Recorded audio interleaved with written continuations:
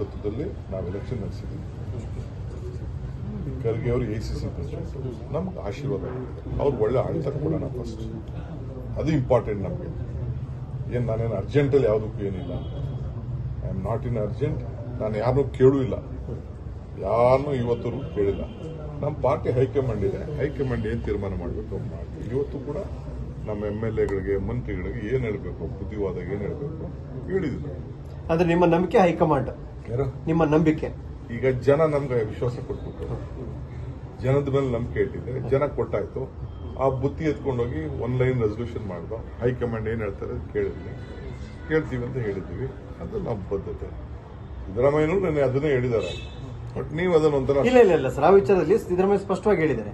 ನಾನೇ ಇರ್ತೀನಿ ಐದು ವರ್ಷ ಮುಂದೆ ನಾನೇ ಇರ್ತೀನಿ ಅನ್ನುವಂತ ಮಾತು ಅವ್ರು ಸ್ಪಷ್ಟವಾಗಿ ಹೇಳಿದ್ದಾರೆ ಸರ್. ಅದ್ರಲ್ಲಿ ನಾವೇನು ಮೀಡಿಯಾದವ್ರದ್ದು ಏನೂ ಇಲ್ಲ ಸರ್. ಅವ್ರು ಹೇಳಿದ್ದೆ ಚೆಕ್ ಮಾಡ್ತೀನಿ ಅದು ಚೆಕ್ ಮಾಡ್ತೀನಿ. ಹಾಗಾಗಿ ಸಹಜವಾಗಿ ನಮಗೆ ಹೌದು ಯಾಕಂದ್ರೆ ನಮಗೆ ಯಾಕಂದ್ರೆ ನಿಮ್ಮವ್ರು ಮಾಡಿದ ಗೊಂದಲ ಅದನ್ನ. ಈಸ್ ಎ ಲೀಡರ್ ನಾವು ಅಕ್ಸೆಪ್ಟ್ ಮಾಡಿದ್ದೀವಿ. ನಾವು ಲೀಡರ್ಶಿಪ್ ಅಲ್ಲಿ ನಾವು ಕೆಲಸ ಮಾಡ್ತೀವಿ.